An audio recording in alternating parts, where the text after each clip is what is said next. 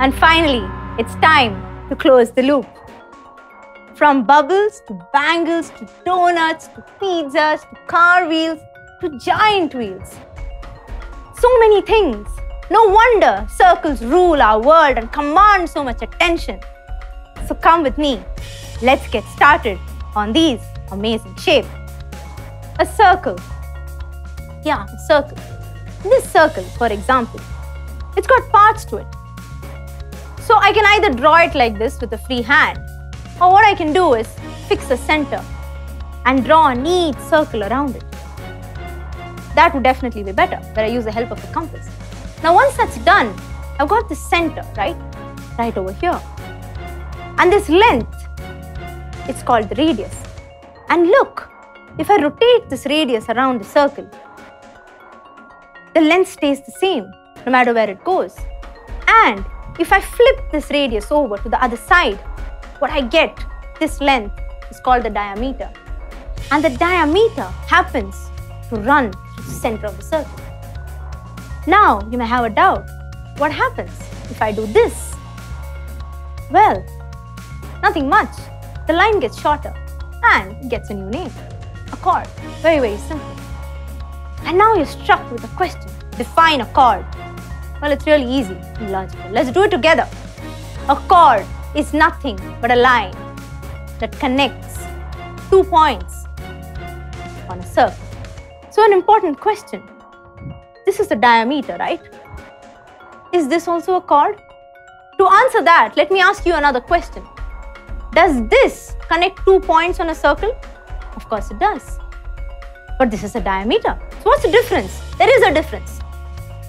The longest chord that you can draw on a circle is the diameter. So let's prove this. Okay, let's prove this together. So, take a circle. I have a chord over here. And what I'm going to do is I'm going to keep pushing it up. Notice that the length gets bigger and bigger and bigger. So right over here, I have the diameter. Let's note down the length and move on. And look, it's getting smaller, smaller, smaller, which means that the chord over there at the center was the longest one, the diameter. So can I say that a diameter is a type of chord, but every chord is not a diameter? Yes, you can. Great, moving on.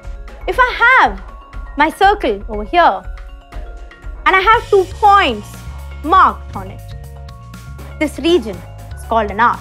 And if you extend two arms like this to the center, this region is called a sector. Not easy to imagine? Ah, much better? Like this better? Much, much better, right? Now you know how important sectors are. It helps you decide how much of a cake you need to give your neighbor. Come on, guys, let's get over pizzas and cakes. They're gonna follow us anyways over the coming years in all our chapters on circles, my promise. So, my plain Jane circle again. And here I have a chord. If I fancy a little bit of color and shade this region here, voila, I get a segment. And finally, when I do a lap around the circle, let's start and go, go, go, go, go, go, go, go, yeah? And that's one complete round. That distance I ran is called the circumference. A lot of words, right? But it's pretty simple. Let's revise it once. So let's summarize everything so it becomes really, really simple for you. So I have a circle over here. Okay. Now, let's look at the first part. This is the center. Okay. This is the radius. This length is the diameter. This is a chord. This region is a segment, right?